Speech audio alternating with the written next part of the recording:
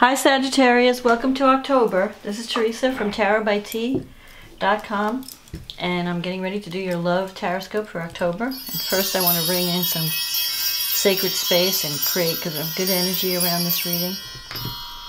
And I also want to say thank you for liking and subscribing to my channel. Thank you for commenting. And thank you for those who have purchased readings. I appreciate your support. So let's see what's coming up for Sag for the month of October. You've got a full moon in Aries coming on October 5th, and that's favorable to your sign, although it's connected to um, Pluto. Pluto is squaring the full moon, so the sun in um, Aries, the moon in Libra. No, the sun in, sorry, the sun in Libra, the moon in Aries.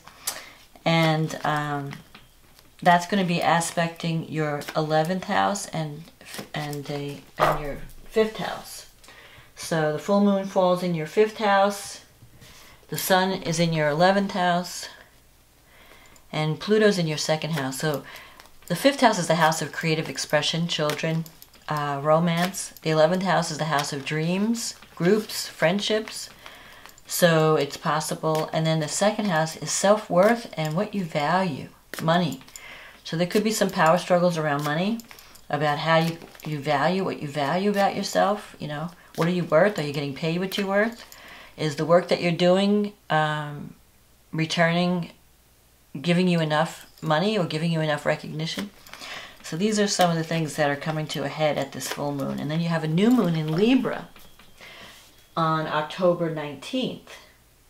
And the new moon is going to highlight the 11th house, which so you could be coming, starting something new with a new group, or even a new job or a new source of income. Um, that's also, it's going to be opportunity. Jupiter is opposing Uranus, so surprising developments.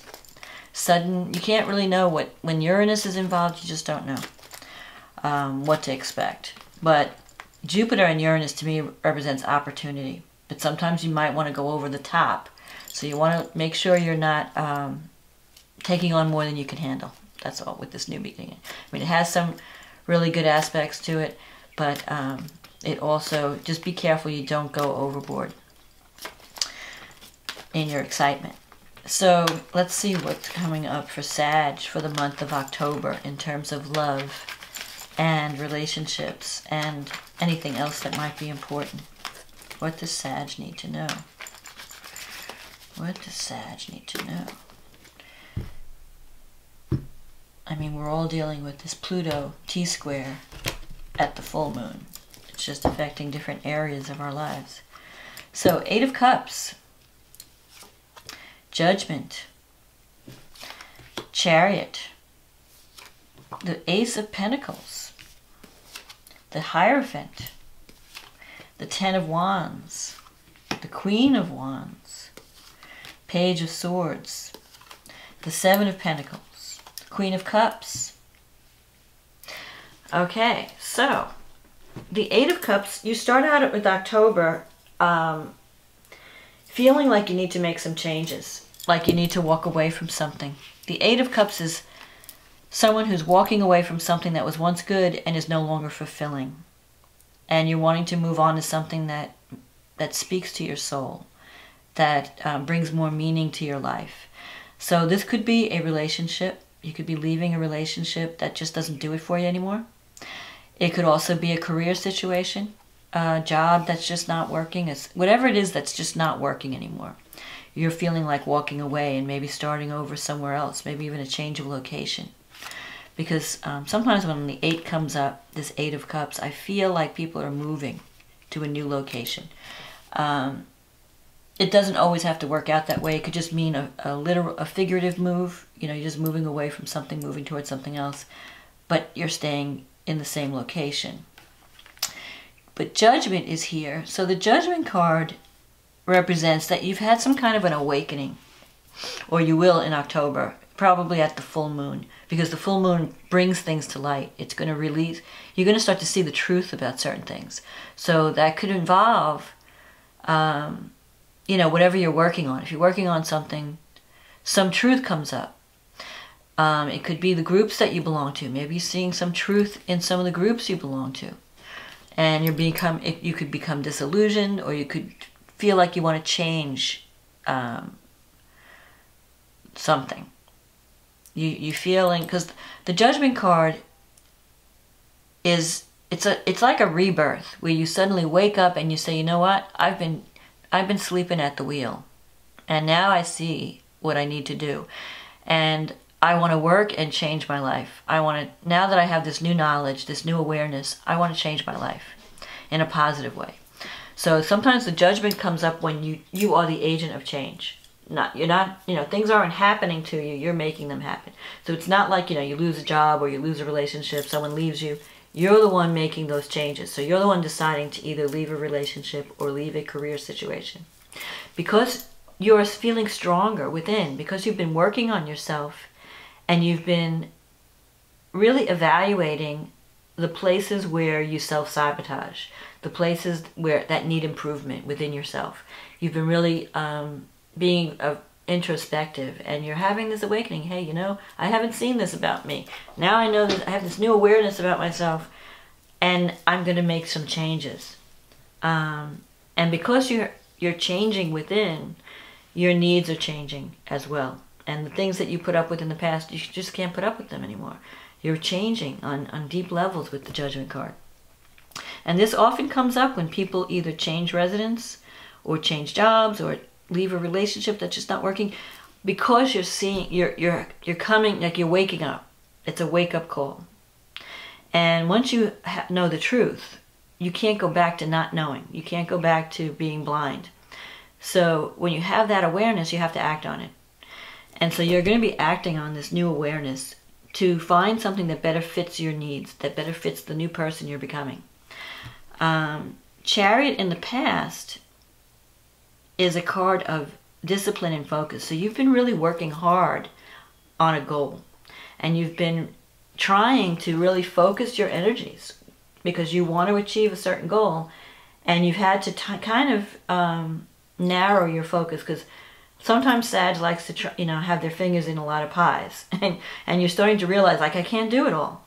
I just can't. I have to focus on what's most important and otherwise I'm not going to get anywhere because if you spread yourself too thin, you feel like you're treading water because you, you don't have the time and the focus to get ahead.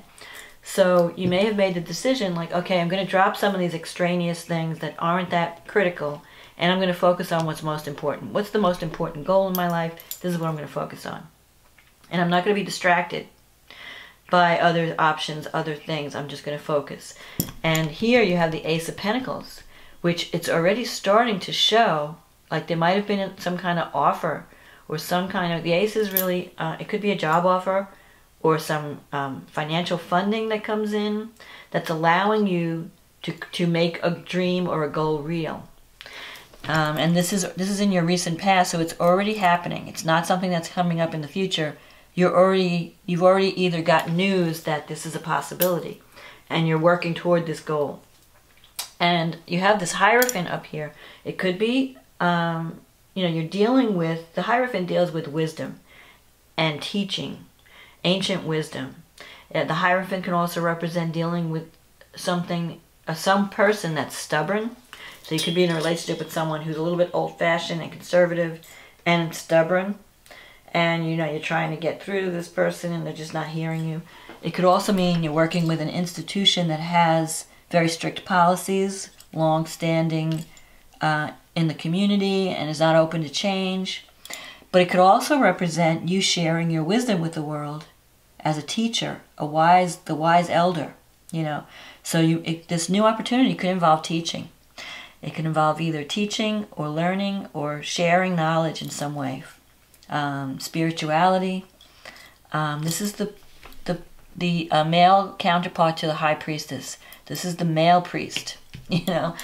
Um, so it, but it also represents structure and conservatism. So you might be dealing with an organization that you have to, where you have to kind of conform to their rules and regulations. So that could be, uh, I don't know if you like that or not, but one thing that's certain about this organization is it's very stable and solid. So this opportunity can bring a lot of money. Can, this is a card of money. Uh, it's a card of efforts that are paying off, that are show that you're going to be actually make, making something happen. The Ten of Wands is in the near future. So um, the Ten of Wands, see, now I don't think this is not a love reading. This is more career now that I'm looking at it. But the Ten of Wands can represent putting down a burden. Like you might have been carrying a heavy burden. You might have been working really hard. A lot of responsibility. Um, maybe a lot of projects that were requiring a great effort from you. And that's going to start to ease up. So the Ten of Wands means um, putting down this burden, coming to the end of that cycle of hard work because you're going to be reaching your goal. And it's like, okay, I can ease up on the pedal now. I don't have to be like, you know, uh, gung-ho, working, working, working. Um, the Queen of Wands here, that could represent you or someone that you're dealing with.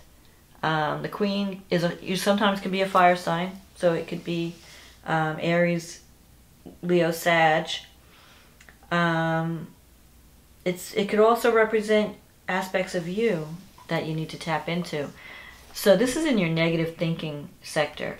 So this card usually represents, in the positive sense, the Queen of Wands is someone who's looking for a position of leadership, who's not afraid to take charge of things, not afraid to go after what she wants. In the negative, uh, maybe she's a little bit too aggressive or too ambitious. So, and you have to be careful not to alienate people, um, because this queen has a, you know, it's like I'm going to get there, come hell or high water. I don't care what I have to do. The ends justifies the means. That's the energy of the queen sometimes. So um, maybe you're feeling doubtful about this position. Somebody, it seems like someone you might be offered a position of leadership, and you're kind of having second thoughts about it. Um, one thing for certain is you need to check in. The Page of Swords is in your environment. And this could represent spying or gossip, but it could also represent um, looking into things carefully. So it's possible that if you've applied for a job or if you've been given a job offer and you haven't heard back, like they could be looking into all the different candidates really carefully, checking all the, you know, all the details, checking all the resources um, and the references um, because it seems like this organization is is big. Um, it's a it's a big operation, so they don't just um, they are really serious about the type of people they hire, and they may be looking into things really carefully. So you may have to wait. So here you have the your wish is to see the fruition of this project, but the so you're starting to doubt yourself with the ten, with the um, seven of Pentacles you're starting to think, well, I don't know what's going to happen. I planted these seeds. Is anything going to come out of it? Um, I think you just have to have patience. I think I, I think that it's it's it's going to work out. You just have to give them time to do their process. They have a process, and this process can't be rushed. Um, if it's a relationship issue, well, let me finish this career aspect because I'm on the career. you have the Queen of Cups at the end. So this could mean that you're either dealing with a water sign, which would be Pisces, Cancer, Scorpio, or it could mean someone who's very sensitive, very spiritual. Could be aspects of you. Maybe this job not only involves teaching, but also involves spirituality. Maybe um, it also will tell you that with the Queen of Cups, you have to trust your intuition. So um, well, you are, you're going to be using your intuitive skills, your spiritual skills, your sensitivity, compassion. Um, so if you're not dealing with someone that shows all this, this could be someone who's very spiritual, very compassionate. You might be working with them in some capacity. Um, then it means that you need to tap into that side of yourself or that the goal involves those qualities in some way. So I feel like there's there's a career opportunity coming and it may be a dream job because you know we're talking about the full moon here um, activating your 11th house and your 5th house. That's the house of self creative self-expression. Um, the fun house is the 5th house. The 11th house is the house of recognition dreams groups friendships. So your networking your social connections are leading you to an opportunity that can be lucrative and um, you're, you're connecting with powerful people. And with Pluto involved, what you have to be careful with is this Pluto brings very powerful energy. So you have to make sure that whatever your actions, whatever actions you're taking, is for the good of all. Because Pluto, when you abuse the power of Pluto and you use it for selfish purposes, it can bring downfall. But when you use the power of Pluto, like the rising tide that lifts all boats, to lift everyone else up, including yourself, that's the best way to use that energy.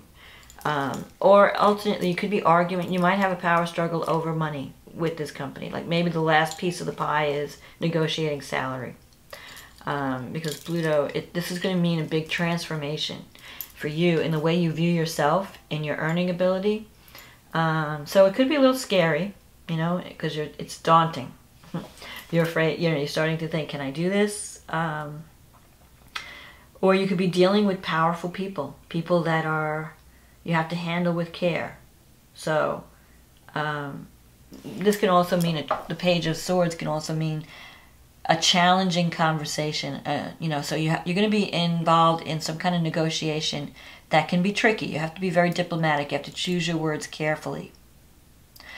Um, in a relationship situation, um, it could be that you're dealing with someone who's stubborn and conservative, someone who's been a burden, and can be a challenge. And um, you might have to talk to them. You might have to talk to that person. Maybe they're a little bit too aggressive in your life or they're too sensitive. Um, because you know Sagittarians, they're truth see, see, um, truth tellers.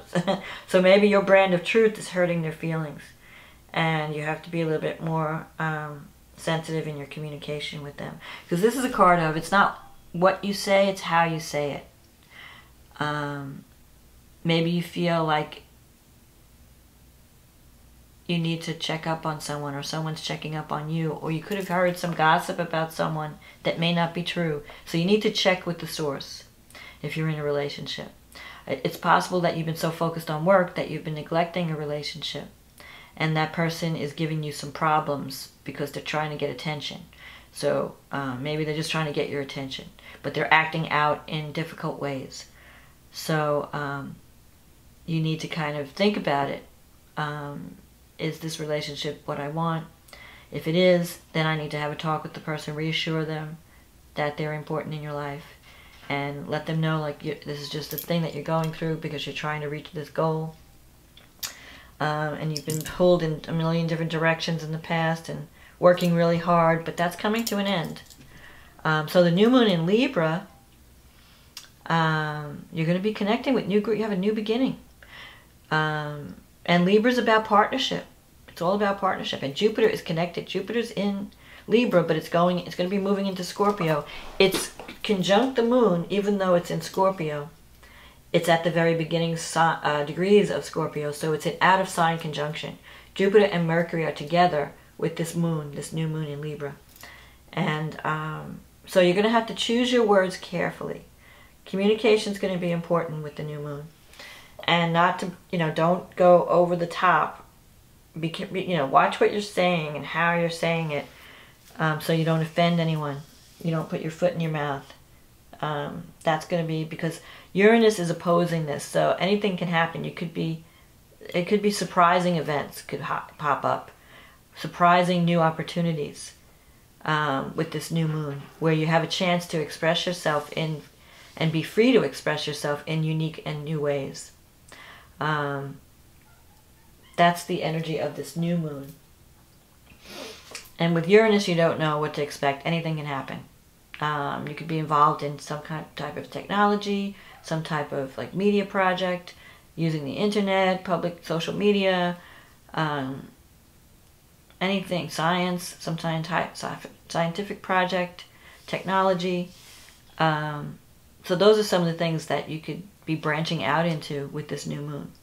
And it's going to be like a dream come true, or it's going to be feel like you know you're accomplishing something, you're reaching a goal. So um, I know you've been working really hard.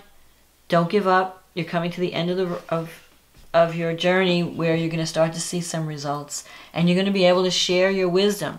The only thing you have to watch out for with these astrological aspects and also the um, Hierophant is is being too stubborn in your beliefs. You know, because a lot of times people really um, get locked into their beliefs as if their truth is the only truth. So you may have to negotiate or allow other truths to be part of the discussion. You may have to open your mind a little bit and um, try to see things from another person's perspective. Don't be so rigid. Uh, because this kind of energy, people are really set in their beliefs. And so there could be a battle, a power struggle of beliefs. You know, you think this is right, the other person thinks something else is right, and you're battling it out um, with this energy. So, you know, you have to kind of follow the Libra model of diplomacy and negotiation and create win-win, meet people halfway, try to see things on the other side. Don't be rigid, don't be stubborn. Um, and things should work out fine.